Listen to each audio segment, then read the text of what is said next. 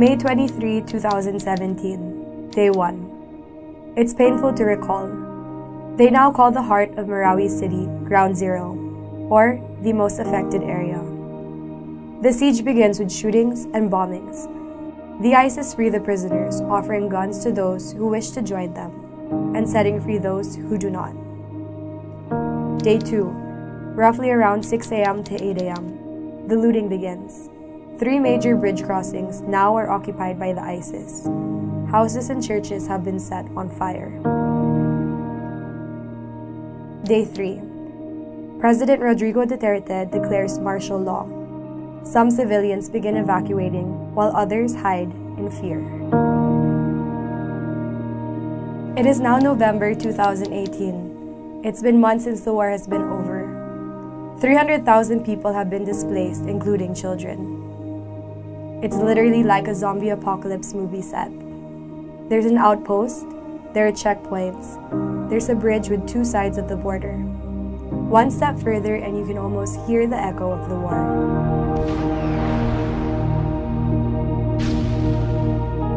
The silence in the air is deafening. The cool of the breeze can bring you to tears. You want to know and see just a little bit more, but everyone has to leave before the last light. There's no amount of technology, 3D or 4D movie experience that would recreate what it really feels like to be there. You feel the hate through the walls, you smell the fear off the ground.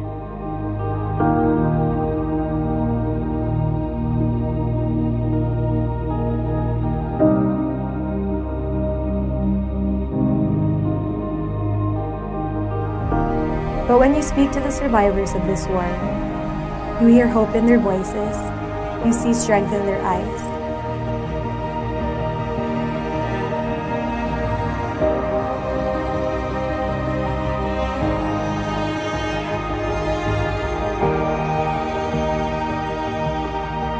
Ready on the left? Ready. Ready on the center? Ready! Model 5! Yay! I am so privileged talaga na nagsasalita ako ngayon dito sa harap ng lahat. The people of the lake have beautiful hearts. They have warrior blood running through their veins. They might have experienced a recent war, but they don't fail to inspire in their resilient ways. No profession demands so much than being a soldier, yet I am willing to serve and offer my life for peace and freedom.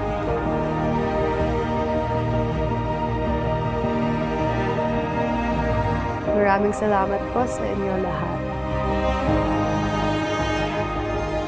I am Katarina Rodriguez, Miss World Philippines 2018. I have been a peace activist ever since I spoke in behalf of the Filipino youth at the fifth round of peace talks between our government and the Communist Party of the Philippines in the Netherlands last 2017. I am one of the thousands who have lost sleep over the war in Marawi, a city in the southern part of the Philippines that has been torn to shreds by the ISIS extremists.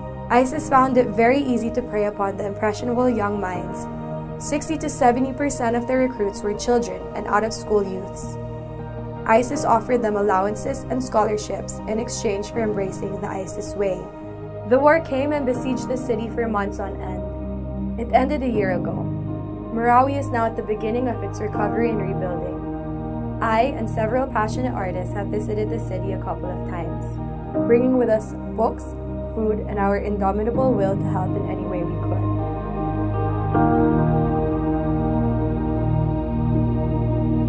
You're welcome. Do you like chicken joy?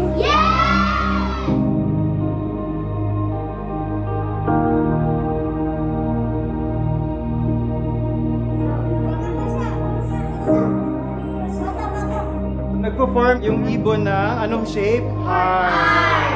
So, yun yung regalo namin para sa inyo. Sana magustuhan ninyo.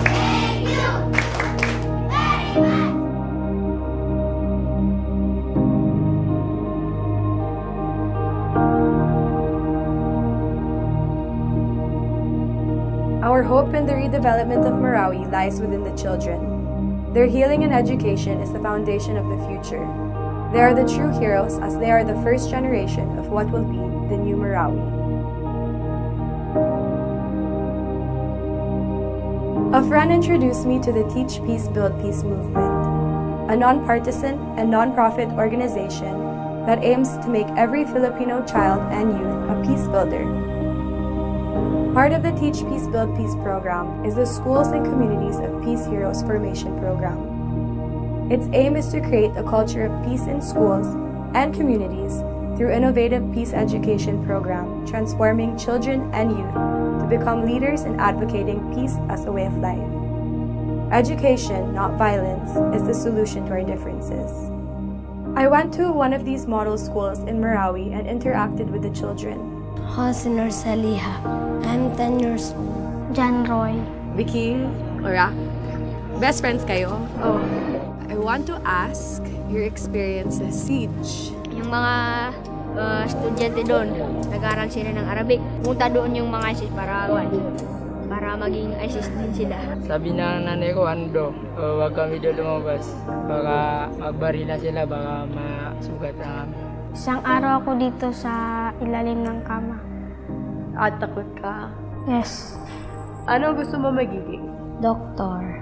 Bakit doctor? Para matulungan yung mga taong nagkakasakit. Maging chef. Bakit siya? Para makakain ng mga bata ng masarap. Engineer. Wala, dito lang mga tulong sa akin. Gumagawa ng kalsada. Talaga doctor? Kasi na-hospital yung tatay ko. Kung walang peace, kaya mo ba matupad ng pangarap mo? Hindi. Pag uh, walang kapayapaan, nagigera sila. Ano ka makapag-aral? Hindi makapaghanap buhay yung tatay mo. Nag-aaway-away sila. Mahirap, mahirap magano kapag nag-aaway-away sila.